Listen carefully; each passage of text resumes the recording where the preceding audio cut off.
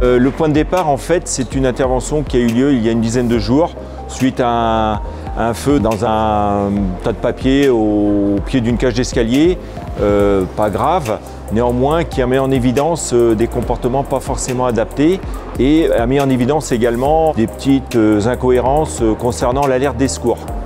Donc l'objectif était de sensibiliser à la fois les commerçants et les habitants du passage Pomeray sur euh, la notion de danger et risque liés à l'incendie, euh, les notions de peur-panique et donc euh, ainsi proposer aux habitants et aux commerçants d'adopter les bons comportements, pouvoir être le plus précis possible dans l'alerte des secours pour guider les sapeurs-pompiers à l'endroit le plus proche de l'intervention. La peur, en fait, elle se prépare.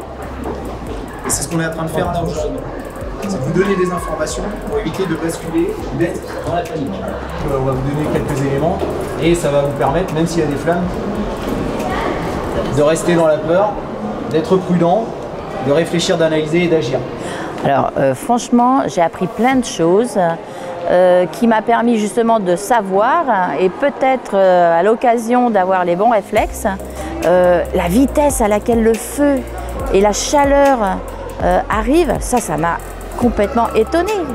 Je trouverais bien que tout citoyen puisse avoir euh, cette euh, réunion d'information.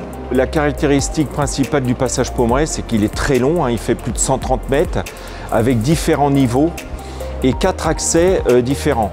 Cela entraîne une grosse difficulté à la prise d'informations lors de l'alerte pour identifier l'endroit précis de l'incendie alors le passage Pomeray, c'est qu'il est tout en bois hein, déjà, donc euh, c'est une problématique, c'est un peu un labyrinthe. Et puis euh, il y a plein d'habitations, notamment la mienne, où il n'y a pas d'accès direct de la rue. C'est un vieux bâtiment, donc il, offre une, stabilité euh, suffisante. Néanmoins, euh, il y a 200 ans, il n'y avait pas de réglementation incendie.